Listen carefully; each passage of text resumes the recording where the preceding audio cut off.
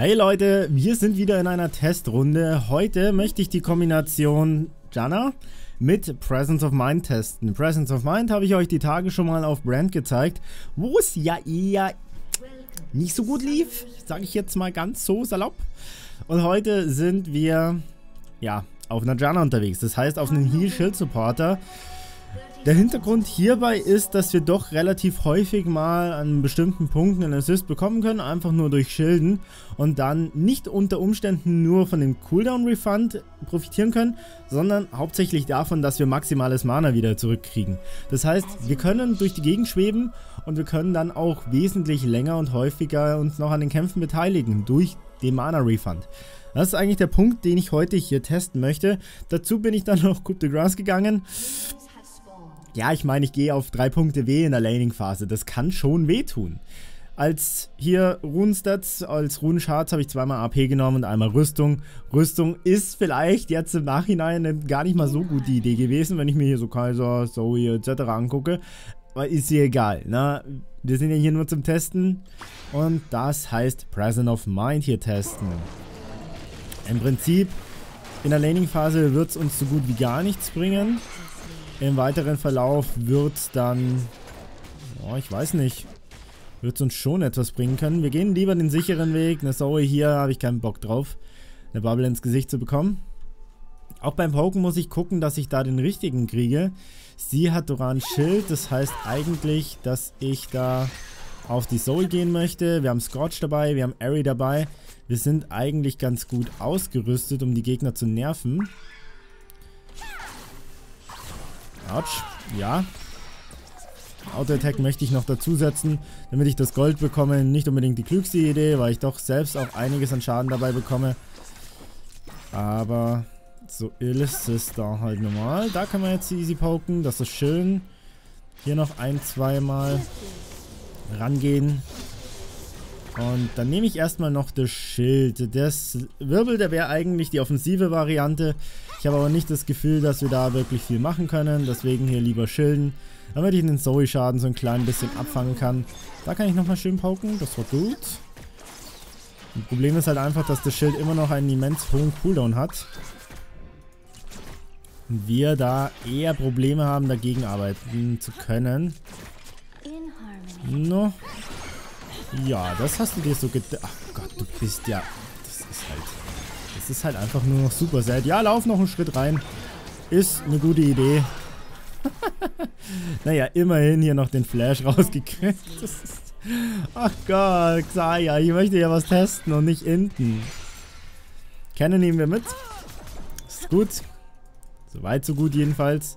Jetzt halte ich mich hier eher defensiv. Was will ich denn groß machen? Kriege ich die? Ja, kriege ich. Dann hier 1, 2. Da 1, 2. Gönnt ihr noch einen Auto-Attack vom Turm? Habe ich nichts dagegen. Habe ich absolut nichts dagegen. Kriegst du hier nochmal einen Poke ab. Uns geht langsam das Mana aus. Jetzt wäre es halt schön, wenn man da irgendwo einen Assist hätte. Na, ich weiß nicht, ob ich die Kaiser da treffen könnte. Nee, die ist schon weg. Die ist schon weg. Die lässt sich nicht darauf ein, dass sie irgendwo da am Busch durch die Gegend derbt und dann sich von dem Wirbel hochwerfen lässt. Das ist doof. Ist die Frage, wo ist sie jetzt? Ach ja, Redemption. Ach ja, stimmt ja. Ihr habt ja Sustain durch ähm, etwas, was euch überhaupt nicht gehören sollte. Tschuck. Geht er gepaukt. Das Minion ist aggro auf uns. Gragas, hättest du Bock mal hier runterzukommen? Das da hätte ich auf jeden Fall Einsatzmöglichkeiten für dich. Na? Nein? Okay. Habe nur gefragt. Da auch wieder hier eine Bubble möglich. Also hier so, so, so, ne? Für ihre W-Fähigkeit, ein Item oder sowas. Wir lenken den Gegner. Wir machen alles, um ihn zu töten. Wunderbar. 134 Mana kriegen wir da wieder. Wir müssen noch schauen, dass die Wave auch reingeht. Achtet natürlich wieder keiner drauf.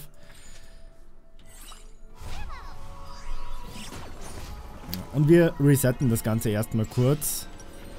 Ich habe die Möglichkeit, hier auf den Frostfang zu gehen. Wir können da, da mitnehmen und dann gehen wir wieder los. Manch einer fragt sich, warum nimmst du keine Schuhe mit? Tja, weil Sustain einfach super wichtig geworden ist durch die lange Laning-Phase und da hilft dir die Refillable Potion jetzt auch wieder ganz gut. Sechs Schaden durch Couple Grass. Nicht schlecht, nicht schlecht. Die 134 Mana sind jetzt nicht gerade bedeutend gewesen in der Sekunde, aber wir hätten dann auf jeden Fall nochmal ein klein bisschen irgendwas machen können, wenn die Situation besser gestanden hätte. Also da bin ich eigentlich zufrieden. Das Problem, das ich hierbei gerade habe, ist, dass ich Runen mit habe, die in beider Arten, also Mana Flow Band und das äh, Presence of Mind Rune, dass die beide ein bisschen darauf achten, dass man Mana-Probleme vermeidet. Na, Mana Flow Band sowieso ist ja der Standard, du hast maximales Mana, du äh, hast die Möglichkeit, wenn das voll gestackt ist, dass dich dieses Mana auch wieder regeneriert, etc. Ja. Ignite. Einfach, läuft hier ran. Ignite. Sorry. So. Langsam sollten sie mich respektieren. Meine W macht halt jetzt mit Stufe 3 doch einiges an Schaden. Was nicht zu verachten ist. Ja, da war mein Schild ein bisschen spät. Aber der Poke, der war auf jeden Fall doch da. Sie möchte das Ganze vorne abfangen. Wenn sie meint. Ignite haben wir erst in anderthalb Minuten wieder. Das ist nicht so gut. Die Bubble ist schon mal weg. Da ist ein Ward. Meine Hoffnung, die ich so ein klein bisschen aus diesem Gameplay ziehe, ist, dass man mit der Kombination von Presence of Mind auf einem Heal- oder Shield-Supporter diese Fähigkeit oder die Ultimate, darum geht es ja im Endeffekt, dann auch wesentlich besser und häufiger nutzen kann. Die Frage ist, ob das dann auch möglich ist. Bei einer Lulu kann ich mir noch vorstellen, dass das dann ganz gut wirkt. Aber ich kriege übrigens gerade keinen Poke mehr hin, ne? Aber bei einer Janna habe ich, also Janna habe ich halt einfach genommen, weil es mir am besten liegt. Das kann man traden. Oh. Aber er hat schon Level 6. Das heißt, Schild hier ran. Und... Na, es hat nicht gereicht. Das hat nicht gereicht. Ich war greedy. Ich wusste, dass ich dadurch Level 6 kriege. Aber ich hatte gehofft, dass ich mich schneller wieder hochheile. War leider nicht so der Fall. Ähm, Boots of Speed. Buch. Und Robot. Ardent Sensor first. Oh, ich sehe da ein Wort. Den möchte ich mal mitnehmen. Natürlich dann hier auch kein Refund. 305 Mana. Das ist halt auch so ein bisschen das Ding. Dadurch, dass ich jetzt hier vorgeflasht bin und den Kill mir holen konnte, war ich mir sicher, dass ich das Mana dann auch hinterher habe. Weiß nicht, ob das jetzt hier am Ende des Tages eine gute, eine schlechte Sache ist oder wie auch immer. So.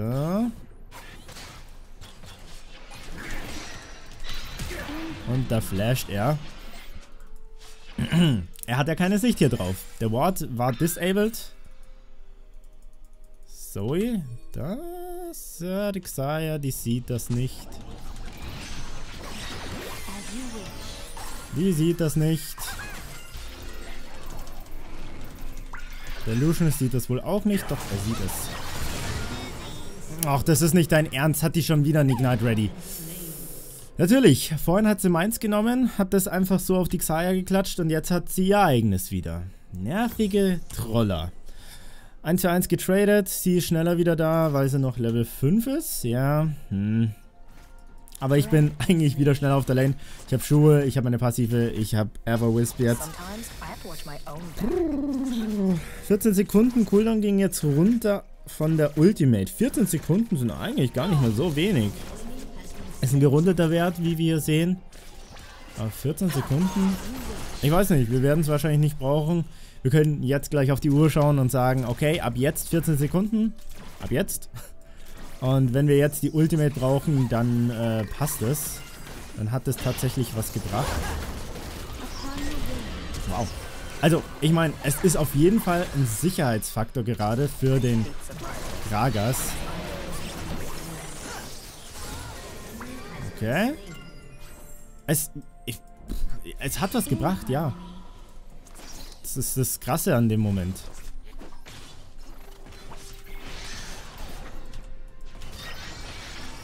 Das ist das Krasse an diesem Moment. Es hat wirklich was gebracht. Ja, hier haben wir jetzt halt weiterhin beide Klone. Oder weiterhin, was rede ich denn? Neuerdings haben beide Klone jetzt die Debuffs drauf. Ihr habt es gerade beim Ignite gesehen. Ein Shaco kann euch jetzt also wieder ziemlich smart outplayen, wenn er es drauf hat. So, da dieses, hier dieses. Ein Wirbel durch die Minions, damit die uns nicht so nerven. Hier nehmen wir auf jeden Fall zwei Platten mindestens mit. Vielleicht sogar noch eine dritte. Hier kommt nämlich gerade noch eine Wave. Ah, Zoe könnte nerven. Ah, Frau, Frau, Frau. Also ich habe eigentlich schon noch Bock auf die. Tschüss. Oh, ja, ja, ja, ja, ja, ja. War greedy, hat aber funktioniert. Na, war greedy, hat aber funktioniert. Es ist kein Missplay, wenn man es überlebt. Was nehmen wir hier mit? Ionische. Und sonst können wir da gerade gar nicht so viel machen. Ich könnte natürlich gerade in die Corrupting Potion investieren können, aber es, ja, ich glaube nicht, dass das wirklich sinnvoll ist an dem Punkt. Hier wird natürlich jetzt auch, die haben genauso viele Platten dann runter, leider. Die nächste schaffen sie nicht mehr, da ist der Turm jetzt wirklich zu tanky, 180 Rüstung. Das geht nicht. Schaffen sie nicht. Jetzt investiere ich danach meine Punkte von Level-Ups in die E. Haben da drüben einen Shaco gesehen. 130 hat er jetzt hier. Ah. Das ist eine schöne Idee. Na, okay, never mind. Ultimate haben wir aber.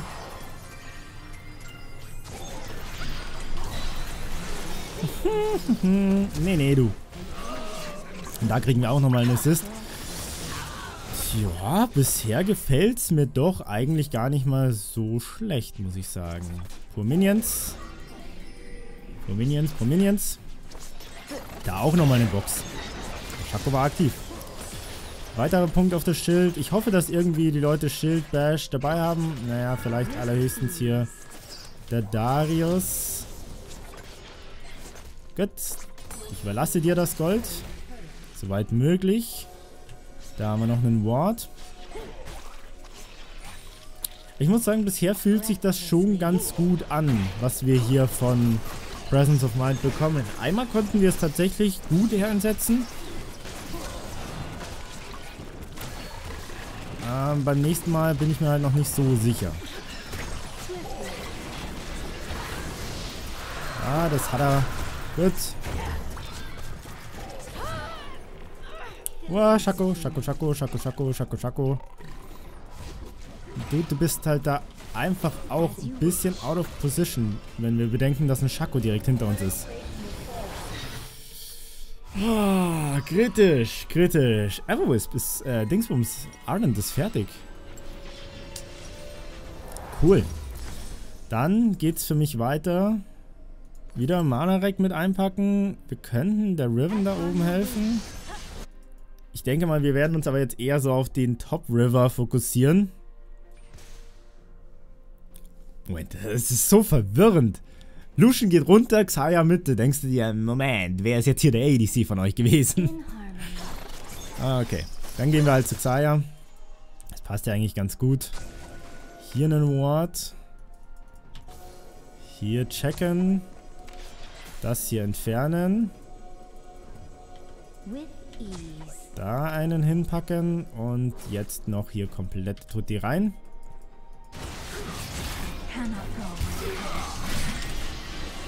Bitte bleibt noch ein Ticken drinnen, meine Kleine. Das war schön.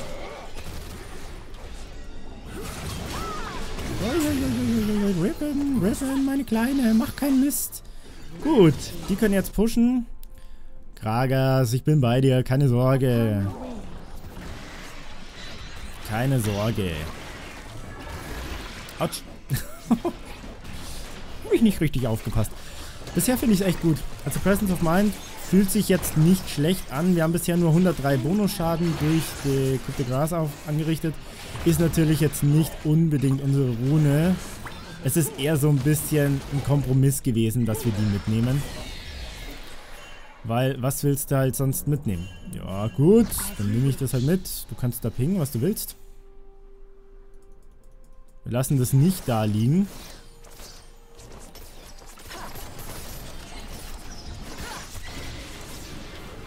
So. Wenn er jetzt möchte, dann kann er vorflashen und das Ganze denyen. Aber ansonsten nehmen wir jetzt hier den Turm. Ob er nun will oder nicht. Es bringt überhaupt nichts. Oder es bringt, sagen wir mal, wenig. Nicht überhaupt nichts, aber es bringt wirklich wenig, wenn man sagt, hey, äh, wir heben uns das Zeug da die ganze Zeit auf. Ich ulte jetzt einfach mal. Wir haben da drüben einen Schako gesehen. War also nicht unbedingt schlecht, äh, da zu ulten. Einfach nur für den Sustain. Hier gehen wir auch durch. Da unten ist der Schako jetzt. Da ist kein Ward, aber wir gehen dann mal weiter runter. Ich weiß nicht, ob ich dem Lucian da überhaupt noch helfen kann. Falsche.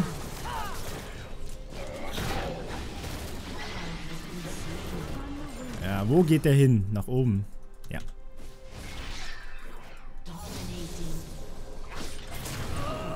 Nee, egal. Igniten wir den. Weg ist weg. Wir haben schon wieder super viel Kohle.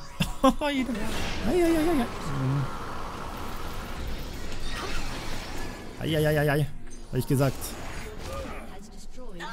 Ah, es reicht halt leider. Ich habe ihn davor nicht mehr attacken können, weil ich das nicht äh, richtig gesehen habe, dass ich überhaupt hier so hardcore gechased werde. Und wäre ich in der Lage gewesen, diesen Malta erst noch zu auto-attacken, den Wirbel habe ich gesetzt. Ne? Der, der Reflexwirbel war da. Aber ich konnte ja halt nichts mehr dagegen tun. Äh, Transcendence habe ich dabei. Das heißt, wenn ich jetzt hier drauf gehe, dann haben wir da nochmal einen schönen Boost an AP auf unsere Transcendence-Rune. 20, um genau zu sein. Du, eigentlich bräuchte ich Redemption nicht, aber ich nehme es mit, um ein klein bisschen Zoe Redemptions zu countern, wenn die welche findet. Natürlich, wenn ich meins nutze, dann kann sie auch meins nutzen. Das ist natürlich doof, aber sei es drum. Und ich muss gerade feststellen, wenn ich jetzt das gerade in den Vergleich zu dem Rakan-Test setze mit Shield Bash, wo ich praktisch rangegangen bin und gesagt habe, ich... Na, bitteschön. Wo ich rangegangen bin, dass in... So, da brauchen wir noch ein Auto-Attack. Da kriegen wir das zumindest. Shield Bash hat nicht so viel gebracht. Ich glaube, wir sind am Ende, wenn es hochkommt, auf 150 Leben gekommen. Ich hab Schild zuerst. Dann diesen hier. Wunderbar. Na, ich überlebe das nur ganz knapp. Uh, ja.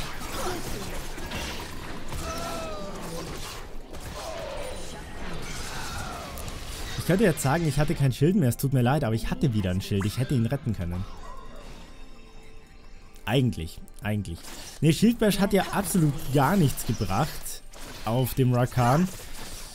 Und wenn ich jetzt hier gucke, ich habe Couple Grass dabei, was auch keine gute Rune ist im Groben und Ganzen. Aber es bringt wesentlich mehr als Shieldbash auf Rakan. Wo man ja eigentlich denkt, ja von der Theorie her eine coole Idee. Witzig irgendwo. Ja, irgendwie witzig. Da noch ein Wort. Hier runterlatschen. Da noch ein Wort. Gegner geben jetzt schon auf. Ich konnte es einmal testen.